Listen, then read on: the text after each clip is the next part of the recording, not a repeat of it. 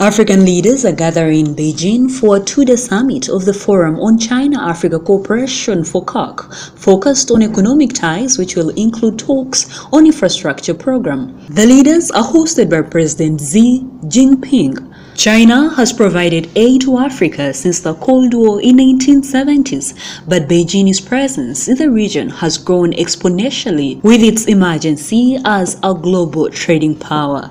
Beijing loans billions of dollars to countries in Asia and Africa for roads, railways, ports, and other major building projects.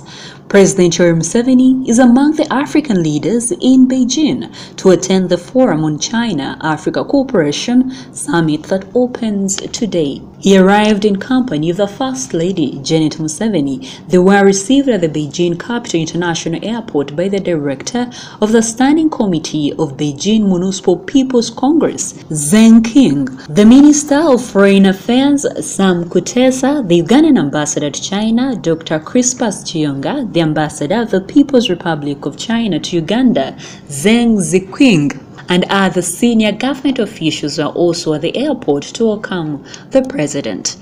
Established 18 years ago, FOCAC has achieved fruitful results and has become a significant mark of China-Africa cooperation. China-Africa trade volume amounted to 170 billion US dollars in 2017, up from just 10 billion dollars in 2000, according to data from China's Ministry of Commerce.